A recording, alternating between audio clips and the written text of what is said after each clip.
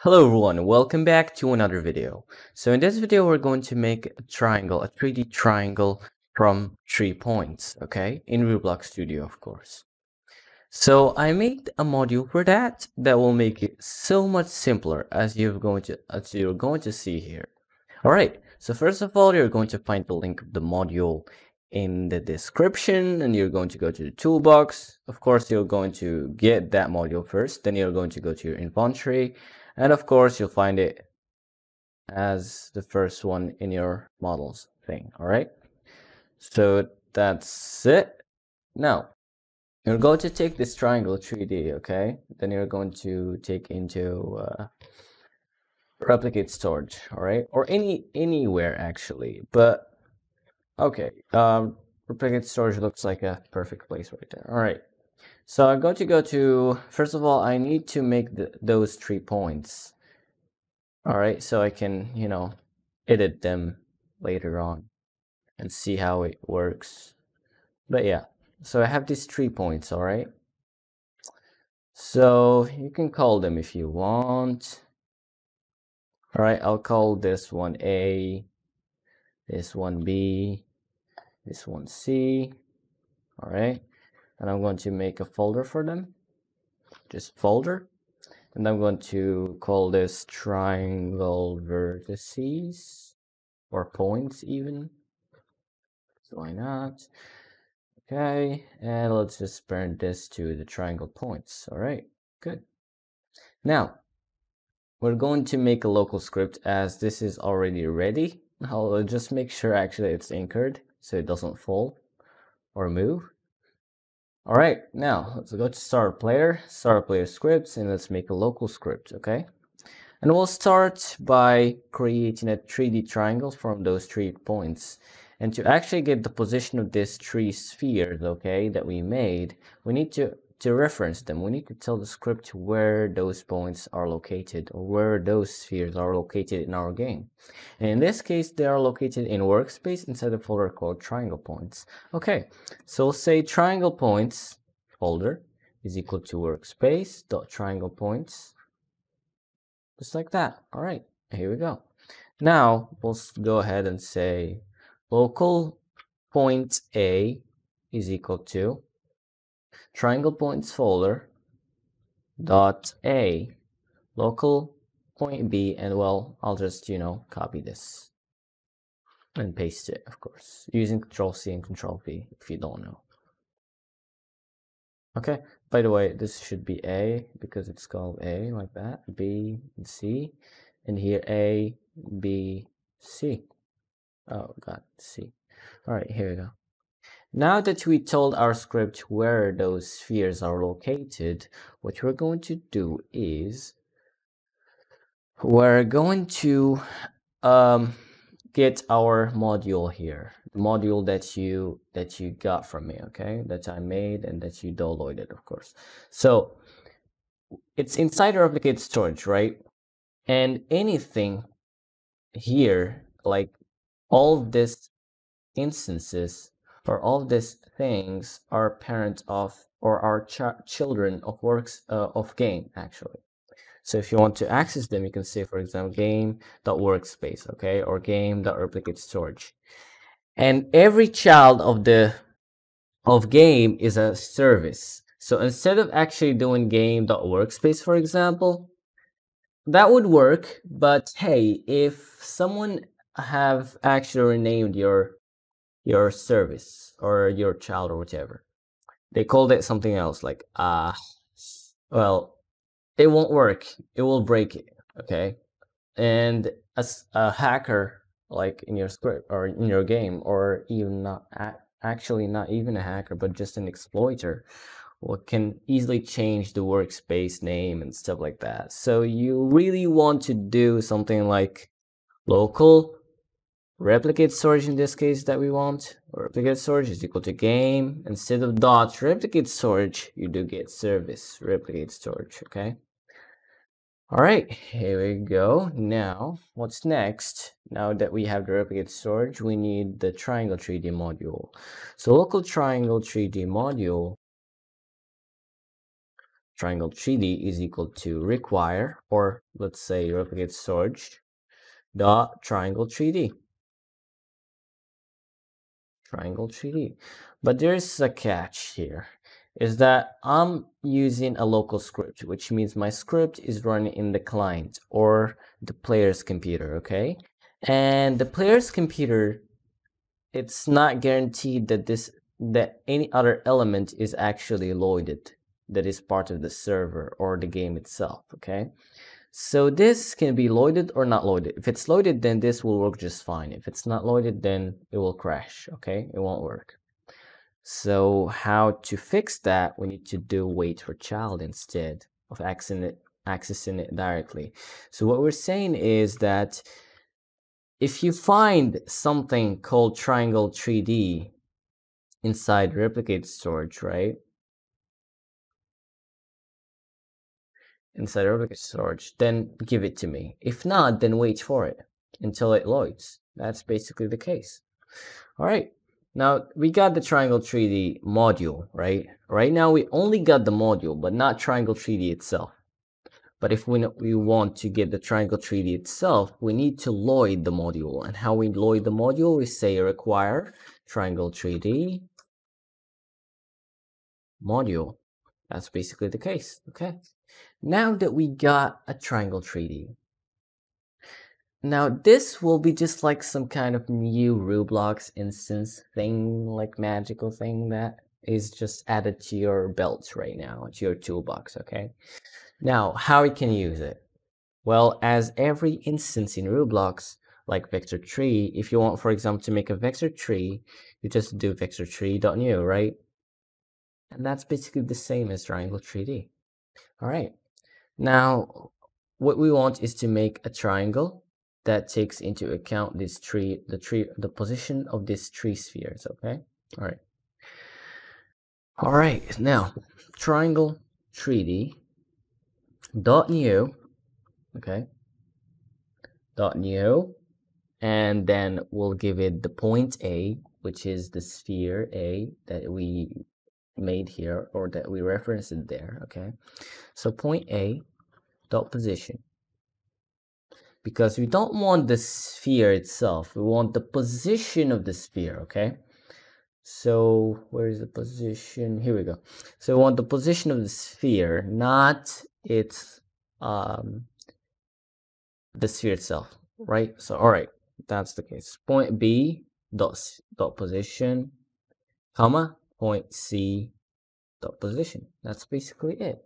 Now we gave three Vector3s or three positions into our new triangle 3D, okay? Cool. Now that should work, right? Well, let's see. Now let's play this. Let's just make sure we don't have any error. Because if anything goes wrong, it will show you in the output, okay? And as you see, there's no triangle and there's no error which means something we miss or missing something. Okay.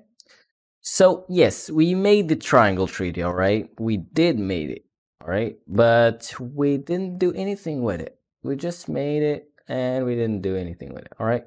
Now we need to store the triangle that we made, the new triangle that we made, in order to access its functions and stuff, all right?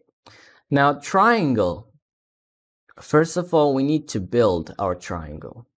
What build is, it will just, you know, um, build the meshes necessary to actually build the triangle, okay?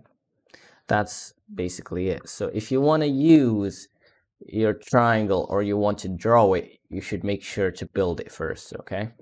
Then, what you're going to do is render, right? What's render? It will only render it function will calculate uh, the information needed uh, to draw the triangle from the vertices or from the positions that you gave it, okay? So this will only do the calculation process, not the drawing process, which, which means it will actually print. All right. So now let's actually test and see if there is any triangle.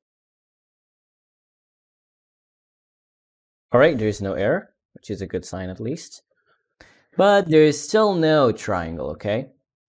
However, so yeah, all right. Now let's go to local scripts. Now we built the triangle and we rendered it, but we didn't draw it. So we do need to draw it. And what draw will do is it will actually take the builded triangles or the builded meshes, right? And construct them using the rendered calculations. And then it will draw it. Now it should show actually, right? Yeah, it should. However, the case is, yes, it did render. However, it's not shown. Like it, it got drawn, but it's not shown. So how's that? Well, as every Roblox item or every Roblox mesh or whatever, you need to parent it, okay? So I need to do triangle parent to some somewhere. And in this case, I'm just going to use the workspace. And if you play this on right now. All right, let's see. And boom, we have a triangle. Yay. All right. However, the case is that even if I move this, it won't move, right? It won't update the vertices or the positions and stuff, and it won't re-render and stuff like that, okay? All right, now let's see what we did here. Now build render and draw, we can just say render draw because it's already a function. And even instead of calling these three functions, we can do something called preset. Draw preset, okay? Or you can call it whatever you want, okay? It's basically a table and you give it the, the things that you want it to do.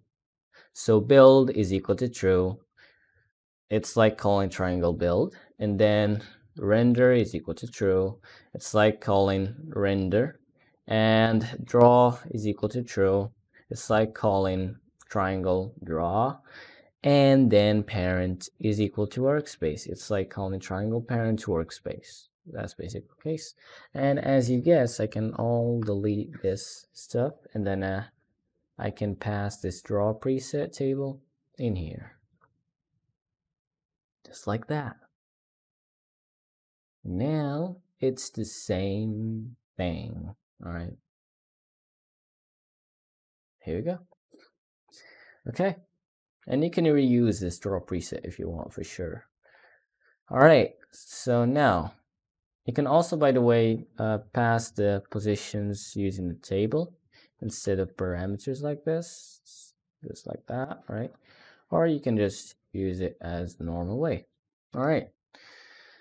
Now that we made this, all right, now we do need to update uh, the thing. So when we move the position of the spheres, it, it updates again, all right?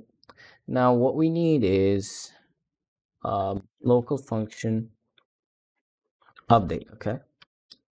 Now what we're going to do in this update is that we're just going to say triangle animate vertices and we need to give it the new positions and you just give it this stuff basically that's all all right now that we made the update function now we need to know when to call it let's start first by actually listening to point a when point a dot position is changed then update. If point B dot position is changed, then update. If point C dot change, update.